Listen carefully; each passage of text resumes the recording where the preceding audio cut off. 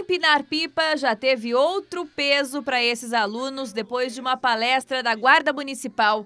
A ação é chamada de Pipa do Bem, um trabalho socioeducativo realizado pelas equipes da Ronda Escolar pelo programa Anjos da Guarda, que traz orientações sérias sobre o uso do cerol. O importante é que criança quer brincar e gosta de brincar, não há problema nisso, desde que o faça com segurança.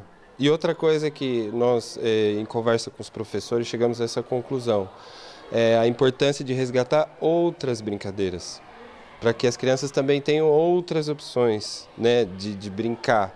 Muita gente pode se perguntar, mas será que ações como essas realmente ainda são necessárias? Afinal, todo mundo já entendeu que o cerol é perigoso e nem tem mais tanto acidente assim hoje em dia com ele, não é mesmo?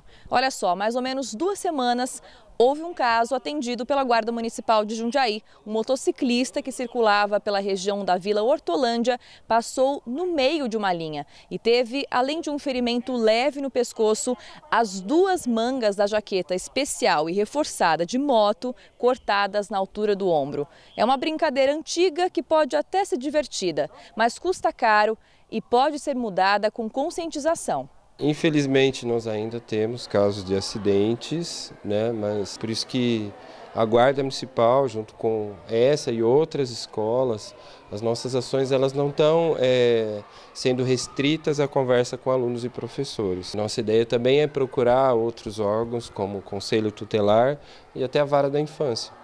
E as crianças entendem mesmo o recado. Quer ver só? Perguntamos a elas quem podia nos responder o que aprenderam dessa lição. E olha só a quantidade de alunos que falaram nos microfones da TV Tech.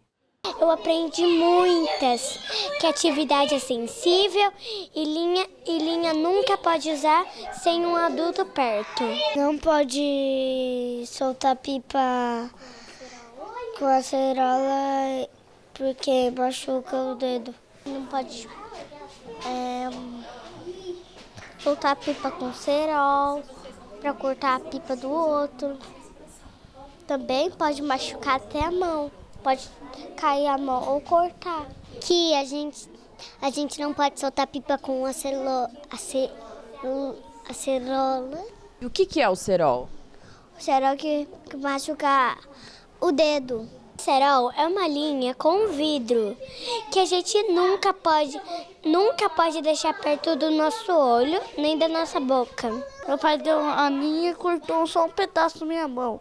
Aí eu falei, meu filho, hoje eu não vou comprar cerol para você, vou comprar só sem cerol. Uma vez o, o meu primo ele estava soltando, depois ele cortou o, o dedo. Se o seu pai, sua mãe ou alguém da sua família for empinar uma pipa com cerol, o que, que você vai falar para essa pessoa? Eu vou falar, pare, porque senão eles vão pro médico e vão dar ponto. E vai doer pra caramba.